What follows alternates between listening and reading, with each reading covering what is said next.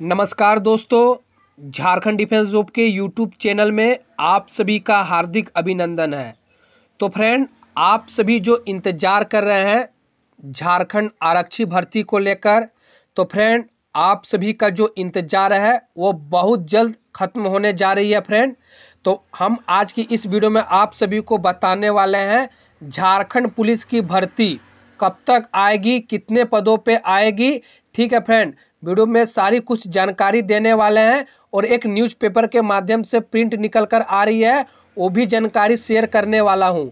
तो आप सभी वीडियो पे बने रहे और चैनल पे नए हैं तो सब्सक्राइब करके बेल बटन को प्रेस कर लीजिएगा पल पल की अपडेट के लिए।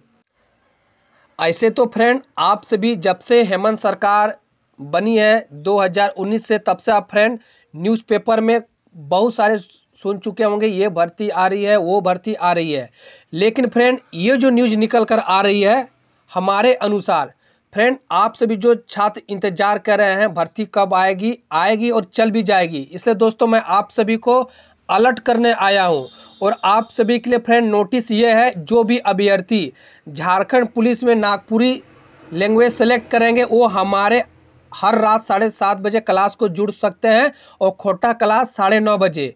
तो फ्रेंड, आप सभी को जो इंतज़ार है, वो बहुत जल्द समाप्त होने वाली देखिए, हेडलाइन में क्या कहा गया है। और ऐसे भी हेमंत सरकार, जैसा कि फ्रेंड, हम लोग झारखंडी मांगे युवा रोज़गार, एक ट्विटर कैंपेन चलाया था।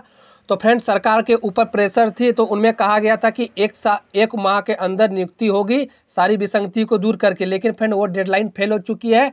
और फ्रेंड, ये जो डेडलाइन ने, सरकार ने गाइडलाइन जारी की है इकतीस अक्टूबर तक सारी विसंगति को दूर करके नियुक्ति का जो रास्ता है फ्रेंड मैं बता दूँ, इकतीस अक्टूबर के बाद भर्ती नहीं आएगी। लेकिन हाँ नवंबर या दिसंबर में भर्ती आएगी ही आएगी, ठीक है फ्रेंड तो आप सभी अभी से तैयार हो जाइए, ठीक है? लास्ट में आप कहिएगा कि बहाली आ नहीं रही है और बाली चली जाएगी, आपको पता भी नहीं चलेगा। जैसे 2017 में रघुवर सरकार के कार्यकाल में हुआ था।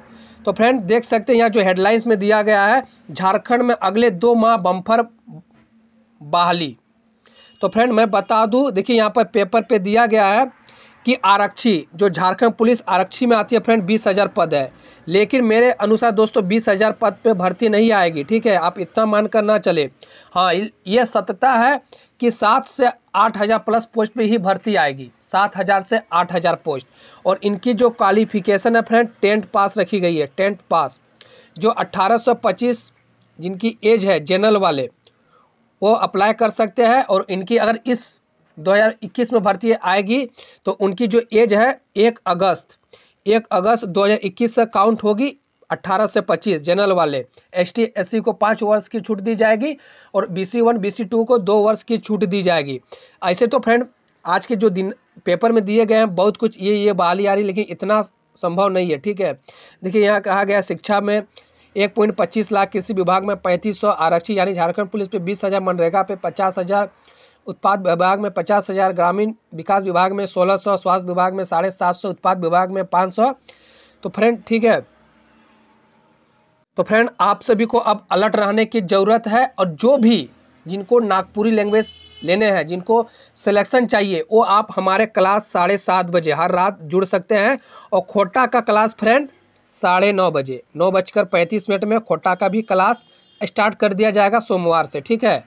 अभी नागपुरी का क्लास कंटिन्यू है तो आप सभी ज़रूर से ज़रूर क्लास को जुड़िए। अभी व्याकरण की क्लास चल रही है, ठीक है दोस्तों?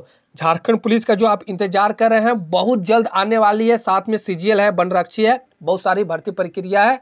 तो आप सभी को अब तैयार रहने होंगे, यही अपडेट थी फ्रेंड, ठीक है? क्योंकि जो हेमंत सरकार ने हाल ही में जो कल को जो दो दिन पहले बोले थे कि 10 इकतीस अक्टूबर का जो डेडलाइन दिया गया, इनमें सरकार के ऊपर ही बहुत सारे प्रेशर है, क्योंकि राज्य में भी दो वर्ष भर्ती भी नहीं हुई है। ये जानने वाली बात है। ठीक है, जो भी रिक्त पद है राज्य में वह बहुत जल्द आने वाली है तो आप सभी को अब तैयार रहने होंगे। यही एक अपडेट थी, वीडियो अच्छी लगी तो लाइक कीजिएगा, शेयर कीजिएगा, धन्यवाद।